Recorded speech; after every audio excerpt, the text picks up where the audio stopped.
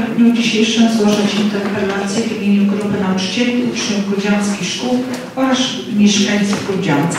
Zgłaszam interpelację w sprawie poprawy i wzmożenia bezpieczeństwa na drogach w Grudziądzu i założenia sygnalizacji świetnych z przełącznikiem czasowym na przejściach dla pieszych.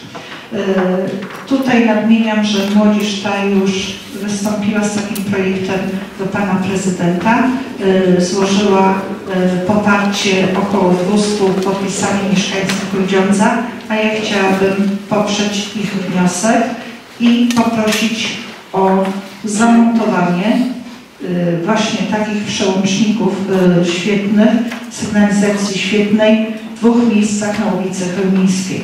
Jest to okolica, jest to przejście dla pieszych w okolicy Policji Miejskiej oraz na wysokości byłych zakładów miejskich.